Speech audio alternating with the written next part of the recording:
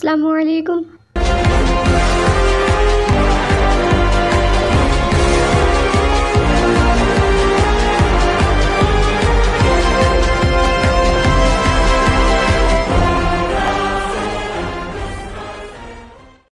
Episode का पहला सवाल, रोज़े की हालत में इंजेक्शन या टीका लगवाना कैसा है? ऑप्शन ए टूट जाता है। ऑप्शन बी नहीं टूटता। ऑप्शन सी मकरू है। ऑप्शन डी हराम है। आपका वक्त शुरू होता है अब।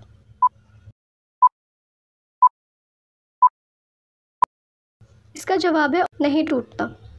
दूसरा सवाल, अगर रोज़े की हालत में ख़ुद ब खुद उल्टी हो जाए तो रोज़े का क्या हुक्म है? ए, रोज़ा नहीं टूटता। ऑप्शन बी, मकरू हो जाता है। ऑप्शन सी, टूट जाता है। ऑप्शन डी, हराम है। आपका वक्त शुरू होता है अब।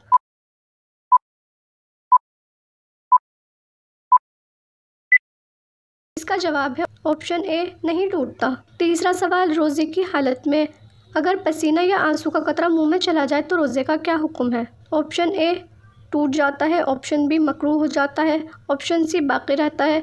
ऑप्शन डी, ख़राब हो जाता है। आपका वक्त शुरू होता है अब।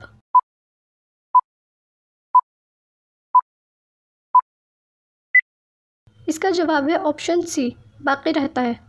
चौथा सवाल, रोज़े की हालत में सुरमा लगाने का क्या हुक्म है? ऑप्शन ए, मकरू है। ऑप्शन बी, जायज़ है। ऑप्शन सी, रोज़ा टूट जाता है या ऑप्शन डी, फासिद है।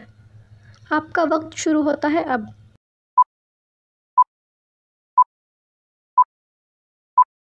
इसका जवाब इंशाल्लाह आप अगले एपिसोड में जानेंगे। तब तक के लिए अल्लाह हाफिज़।